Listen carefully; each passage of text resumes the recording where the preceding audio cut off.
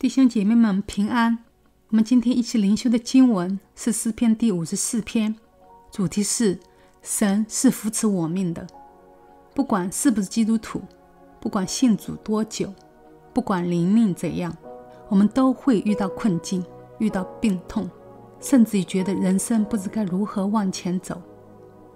大卫在做以色列王之前，在被扫罗追杀的时候，就是在这样的境况里。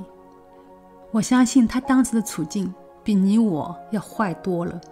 当时大卫在西弗旷野逃避扫罗的追杀，但西弗人要把大卫交给扫罗。这时候的大卫是逃难的，他不断的逃，从城市逃到树林，逃到旷野，走投无路。大卫就写了这篇诗篇，讲他当时很无助，很贫穷，无依无靠，而且有人要害他。有黑暗的权势要追杀他，没有容身之所。但他在困境中来到神的面前，呼求神，得了释放，也重拾了信心。这诗篇教我们，今天在困境中，在无依无靠的时候，应当怎么做。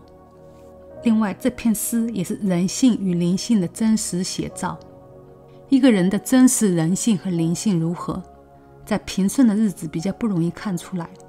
因为没有什么东西刺激他，但是当困难来到，在危难来临时，就容易一览无遗。我们一起来读诗篇五十四篇，第一节：神啊，求你以你的名救我，凭你的大能为我伸冤。这四篇很注重神的名，第一节和第六节都提到了神的名。神的名本为美好，神的名大有能力。一个困苦穷乏人，无依无靠的时候，可以来到神的面前，投靠他，投靠他的存在，呼求神的保护。一开始，大卫就把他心里所想的告诉神，他希望神为他伸冤，这是人性。当人遇到委屈、不公平的待遇，常希望伸冤，还他公道。大卫当时的情况，没有什么人可以帮助他。为他主持公道，他只好向神倾诉，求神为他伸冤。第二节，神啊，求你听我的祷告，留心听我口中的言语。进入神的圣所，来到神的面前，可以祷告，可以讲话，可以诉说自己的困境，期待神的拯救和伸冤。我们的神是听祷告的神，他是现实的、美好的，他的恩典、慈爱。每早晨都是新的。有的时候真的不容易，我们会失望，会痛苦，会不知所措，不知如何往前行。但我们要选择，要定义来抓住神，信靠他，知道他是听我们祷告的神，知道他留心我们口中的言语，知道他是爱我们、顾念我们、体恤我们软弱的神。第三节，因为外人起来攻击我。强暴人寻索我的命，他们眼中没有神。大卫把他所遭遇的告诉神，把他面临的光景向神倾诉。他的性命危在旦夕，有冤无处诉，无人能帮助他。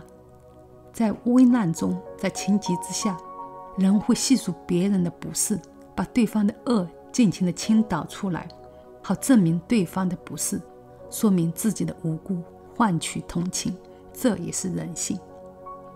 在这个时代，生活在这个国家，也许没有外人来攻击我们，没有强暴人有意寻索我们的命，但我们同样会面临黑暗权势的攻击，社会的动荡，不合圣经真理的政策，社会道德的持续下滑，黑白的颠倒，许多人眼中没有神，不敬畏神，许多事情。许多时候，神的子民觉得很压抑，无法呼吸。面对艰难的时候，我们一方面要进入神的居所，寻求他的同在，是他的同在拯救我们；另一方面要起来祷告，呼求神以他的公义和圣洁来改变这个时代。第四节，神是帮助我的，是扶持我命的。扶持的意思是托住。神是托住我生命的那一位。我们来到神的圣所里面，来到神的面前，要相信，要看见神是帮助我们的那一位，是我们生命的扶持者，所以我们不胆怯，不上胆。就像保罗在哥林多后书四章八到九节所说的：“我们四面受敌，却不被困住；心里作难，却不致失望；遭逼迫，却不致丢弃；被打倒了，却不致死亡。”第五节，他要报应我仇敌所行的恶，求你凭你的诚实灭绝他们。大卫求神为他伸冤，为他报仇。因为他认定神是诚实的，是信实的，同时他相信神是主持真理的，因为诚实就是真理。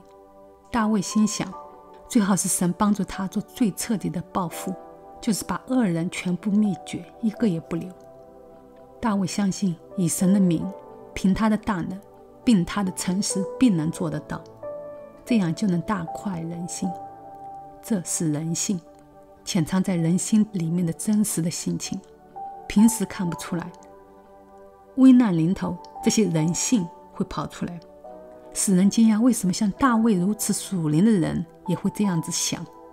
这是人性，这是旧约，特别是在诗篇里常出现这种恶毒话语的原因。神要让人看见，原来在人里面，即使是属神的人里面，都有这种可怕的恶念头。神要让人看见，让人知道，在人里头没有良善，连一个良善的人也没有。若不是神的怜悯，若不是他爱的拯救，人都必因自己的恶而沉沦。大卫在这诗篇中流露人性，把他的本性摆陈在神的面前，把满肚子的委屈向神倾诉，求神为他伸冤。第六节。我要把甘心祭献给你，耶和华呀！我要称颂你的名，这名本为美好。世人在无依无靠的时候跑来投靠神，神的名是他的帮助，神是拯救他的，是为他伸冤的那一位。他要称赞神的名，这名本为美好。这诗篇的一到五节描述的是大卫的人性，向神诉冤，求神消灭仇敌。不错。人性是软弱的，但是当人照着他的本相来到神面前倾诉，他就会得到释放。事情可能没有立刻解决，但是他重新得到了信心，他就能得到释放。第六节，大卫的内心得到释放，不再被仇敌所困，他的心中满了赞美，他要献甘心祭，他要歌颂神的美名。心灵的释放表现于赞美，能赞美表示他不再沉重。心灵的释放也表现甘心奉献，因为如果心灵沉重，心灵仍被艰难所困，就不会有心想到神，也不会甘心乐意的献祭。而心灵的释放也开启了他信心的眼睛。第七节，他从一切的急难中把我救出来，我的眼睛也看见了我仇敌遭报。我们不相信大卫向神祷告的那一刻。所有的事情都解决了，事实上也没有。圣经中记载，后来大卫还是被扫罗追杀了好久。这里是大卫的信心，他相信神一定会帮助他，他相信神一定会为他伸冤，救他脱离仇敌的追杀。心灵的释放是因为他对神有信心，真知道神的名是美的，真相信神有大能，相信神会施行拯救。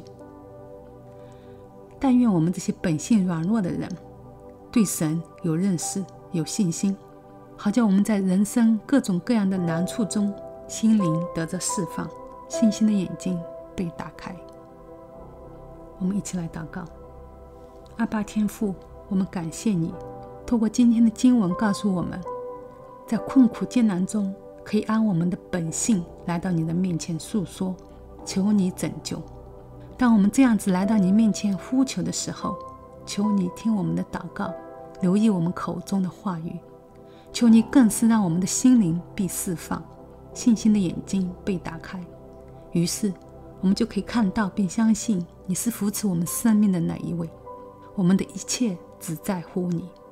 于是，我们就可以跨越一切的困苦艰难。主啊，真是谢谢你，你是如此的美好。如此的大有能力，你值得我们一生来信靠、来跟随。谢谢主，求你祝福你的教会，祝福你的儿女们。祷告，感谢奉主耶稣基督的圣名，阿门。